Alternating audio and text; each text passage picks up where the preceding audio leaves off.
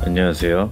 비주얼리즘입니다. 오늘 시간은 시네마4D의 엑스프레소를 활용한 rigging tutorial을 준비했습니다. 시네마4D 유저지만 엑스프레소에 대해 잘 모르시거나 써본 적도 없으신 분들이 많으실 텐데 저 역시도 XPresso를 자주 사용하진 않지만 구조적으로 object가 움직여야 하는 경우에는 종종 사용하기도 하는데 여러분께서도 낯설지만 진짜 기초적인 기능들만 아셔도 정말 유용하게 실무에서 사용할 수 있습니다. 예를 들면 지난 artwork 작업에서도 어떤 분께서 제가 포지션만 움직였는데 어떻게 로테이션까지 되는지 궁금하시다는 댓글을 남겨주셨습니다. 그런 경우 XPresso를 활용하면 쉽게 만들 수 있는데 이런 식으로 XPresso 노드를 만들어서 계산적으로 움직일 수 있게 만들 수 있습니다. 그래서 오늘은 간단하지만 XPresso를 활용하면 좋을 예제를 하나 준비했습니다. 바로 삼성의 갤럭시 S 플립 5를 가지고 제품이 접었다 펴지는 애니메이션을 XPresso를 통해 만들어 보도록 하겠습니다. 우선 기본적으로 제품의 윗부분과 아랫부분, 힌지 페이지를 Null에 묶어서 잘 분리해서 나눠주고 위아래로 분리되지 않는 스크린은 Bend Deformer를 사용해서 접히도록 만들어 주겠습니다. 윗부분을 움직여서 접히고 펴지게 만들어 줄 거라서 윗부분의 축을 제품의 중심 부분에 맞춰주고 펴진 상태에서 로테이션 해보면서 잘 접히는지 확인하면서 축을 조절해 주었습니다. 그리고 스크린 부분 역시 Bend Deformer를 불러오고 가운데로 배치하고 Strength를 올려보면서 제대로 접히는지 확인해 주겠습니다. 그럼 이렇게 로테이션과 Bend Deformer를 통해 하나씩 움직이면서 접히고 펴지는 애니메이션을 만들어줄 수 있도록 세팅되었는데 이 상태에서 이제 XPresso를 활용해 두 가지 움직임을 하나로 만들고 Viewport에도 간단하게 조작할 수 있는 항목을 만들어서 쉽게 애니메이션을 줄 수 있도록 세팅해 주겠습니다. 그냥 제일 위에 레이어에 XPresso 태그를 달고 컨트롤러 역할을 하도록 만들어줄 수도 있지만 그렇게 되는 경우에 내부의 Object들에 따로 애니메이션을 주는 경우 위치값이 꼬여버리기 때문에 Null을 따로 만들고 컨트롤러 역할을 하도록 만들어주는 것이 좋습니다. 이렇게 Null을 만들고 이름을 컨트롤러로 바꿔주겠습니다. 그리고 컨트롤러를 클릭하고 Attribute에서 User Data를 클릭하고 Manage User Data를 눌러주겠습니다. 그럼 이렇게 창이 뜨게 되는데 여기서 좌측 상단에 Add Data를 눌러주겠습니다. 그리고 옆에 창에서 저는 이름을 Fold로 만들어 주겠습니다. 그리고 다른 것은 내버려 두고 아래 인터페이스를 눌러서 Float Slider로 바꿔주겠습니다. Float Slider는 흔히 우리가 보았던 드래그에서 움직이는 0부터 100까지의 슬라이드 강도 조절 인터페이스입니다.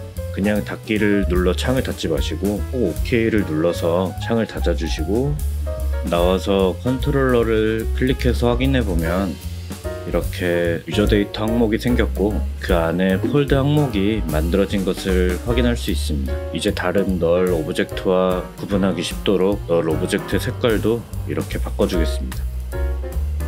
이제 컨트롤러에서 마우스 오른쪽 버튼을 눌러서 프로그래밍 태그, XPresso 태그를 달아주겠습니다. 그럼 이렇게 창이 뜨게 되는데 여기서 컨트롤러를 끌고 XPresso 에디터 위에 올려주겠습니다. 그럼 Redshift의 노드 에디터처럼 이렇게 나오게 되는데 여기서 우리가 만든 컨트롤러의 Fold 항목을 역시 끌고 컨트롤러의 아웃풋에 놓아주겠습니다. 그리고 이렇게 진행한 것처럼 로테이션 되는 윗부분도 끌고 와서 올려주고 로테이션 되는 축을 인풋에 넣어주겠습니다. 또 스크린 부분 역시 Bend Deformer를 끌고 와서 올려주고 Strength를 인풋에 넣어주겠습니다. 이 상태에서 쭉 좌측에 돋보기 버튼을 눌러서 Range Mapper를 불러오겠습니다. 그리고 Fold를 Range Mapper의 인풋에 넣어주겠습니다. 그리고 Range Mapper의 아웃풋을 접히는 윗부분의 로테이션 항목에 연결시켜 주겠습니다. Range Mapper를 클릭하고 아웃풋 레인지를 Degree로 바꿔주면 이렇게 로테이션 각도로 아웃풋이 바뀌게 되는데 우리는 최대 180도로 만들어 줄 거기 때문에 맞춰서 수치를 입력해 주겠습니다. 그리고 Fold 슬라이드를 움직여 보면서 이제 확인해 줄 건데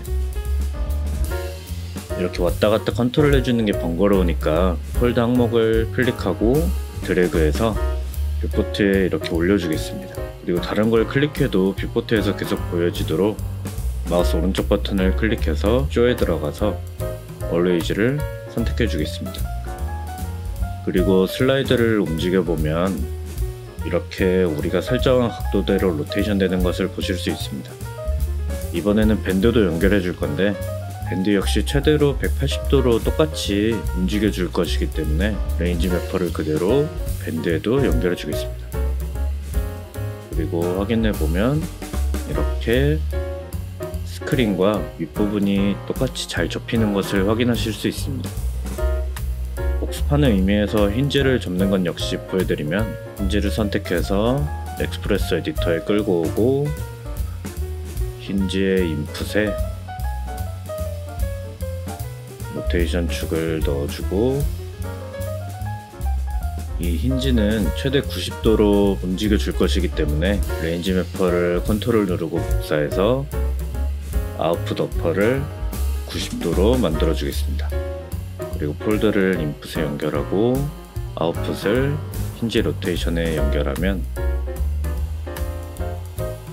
이렇게 세 가지의 Object가 전부 이 슬라이드 하나로 이렇게 컨트롤 할 수 있는 것을 확인하실 수 있습니다. 아주 간단한 XPresso의 기능만으로 이런 구조적인 애니메이션을 잡아보았는데 물론 여기서 좀 더 응용한다면 다양하게 복잡한 구조의 Object들을 분리하거나 따로 움직임을 제어할 수도 있겠지만 이렇게 간단한 기능만으로도 번거로운 작업 과정을 최소화할 수 있으니까 여러분께서도 너무 거부감만 갖지 마시고 재미로 만져보시는 것을 추천드립니다. 도움이 되셨다면 구독과 좋아요 부탁드리고 그럼 다음 시간에 뵙겠습니다. 감사합니다.